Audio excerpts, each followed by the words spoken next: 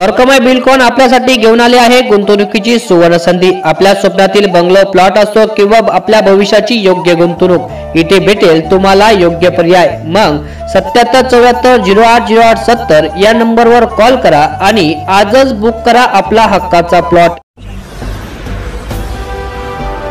ताज्या व बातम्या बघण्यासाठी प्रबंधभूमी चॅनेलला सबस्क्राईब करा व बेल आयकॉनवर क्लिक करा. धुळे महानगरपालिका पोटनिवडणुकीत भारतीय जनता पार्टीच्या आरती अरुण पवार या विजयी झाल्या आहेत. त्यांनी शिवसेनेच्या अनिता संजय देवरे यांचा दोन हजार चौऱ्याण्णव मतांनी पराभव केला आहे. धुळे महानगरपालिका पोटनिवडणुकीतील विजयामुळे भाजपचे संख्याबळ आता एक्कावन्न झाले आहे. धुळे महापालिकेच्या प्रभाग क्रमांक पाचच्या जागेवर गेल्या वेळी लोकसंग्राम पक्षाच्या हेमा अनिल गोटे या विजयी झाल्या होत्या. मात्र त्यांनी राजीनामा दिल्यानं ही जागा रिक्त होती. या जागेवर पोटनिवडणूक घेण्यात आली. यामध्ये चौरंगी लढत झाली. मंगळवारी झालेल्या मतदानाकडे मतदारांनी स्पेशल पाठ फिरवल्याचे दिसून आले.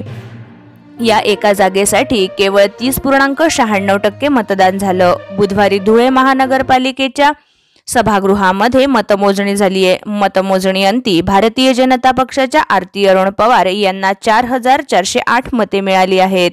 त्यांनी त्यांचे प्रतिस्पर्धी शिवसेनेच्या अनिता संजय देवरे यांचा दोन हजार चौऱ्याण्णव मतांनी दणदणीत पराभव केला आहे देवरे यांना एक हजार सहाशे चौदा मते मिळाली तर अपक्ष उमेदवार विद्या संजय नांद्रे यांना तीनशे पंधरा तसेच संध्या सतीश पाटील यांना एकशे चाळीस मते मिळाली आहेत.